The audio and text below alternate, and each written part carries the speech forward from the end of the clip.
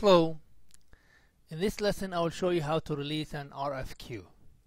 So let's begin by navigating the tab menu. Go first to logistics.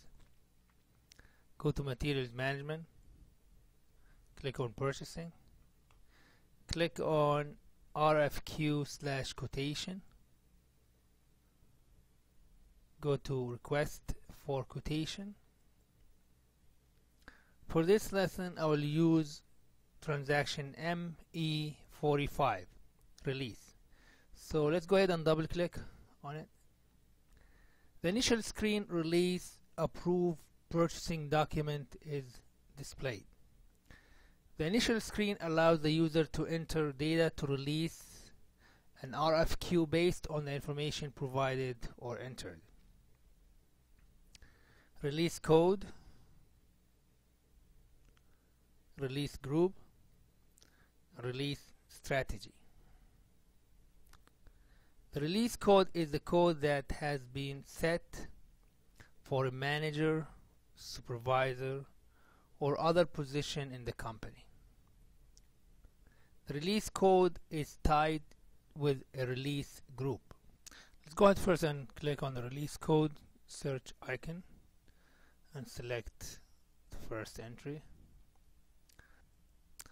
The release group contains a number of uh, strategies that are specified or defined in configuration. The characteristic can be defined to allow ranges of values for the RFQ. Set release or cancel release. These indicators can be set to allow the purchaser to release the RFQs or to cancel the release. Release prerequisite fulfilled. This indicator, uh, if it's checked, allows the user to view only uh, those RFQs that are ready to be released. So if the indicator is not checked or set, so all RFQs are released. The next uh, option is list with items. So if this indicator is checked, then the RFQ will be shown with all uh, line item information. So if the indicator is not set, then only the header information for this particular RFQ is shown. Scope of list. This indicator or this field is um, a variable that shows different information and that is based on the uh, selected values. Usually the default value for this field is AN uh, which is in this case uh, is for RFQ with a collective number. Let's go ahead and click on the search icon and you notice that RFQ with collective number that's the default value. So let's just keep it as ANFR the next field is purchasing document category. The purchasing document category uh, for RFQ is the single character A. So if I go ahead and click on the search icon here you have A for request for quotation F for purchase order K for contracts and L for schedule agreement scheduling agreement.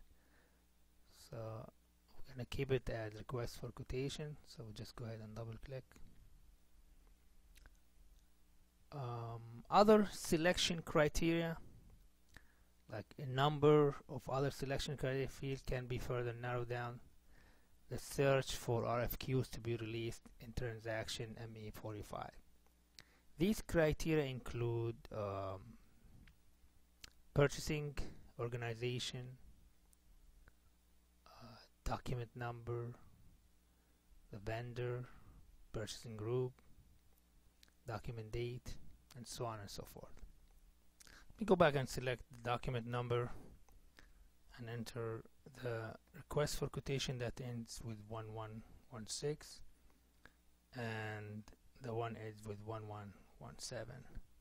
After entering the request for quotation numbers we can go ahead now and release those two requests for quotations before issuance to the vendor.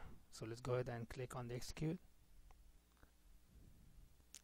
After the request for quotation has been released for sending to a number of vendors the RFQ has to be issued to those vendors. So in the next lesson I will talk about how to issue a request or request for quotation to a vendor let's go ahead now and exit this screen by clicking on the back icon you have just learned how to release a request for quotation using transaction ME45.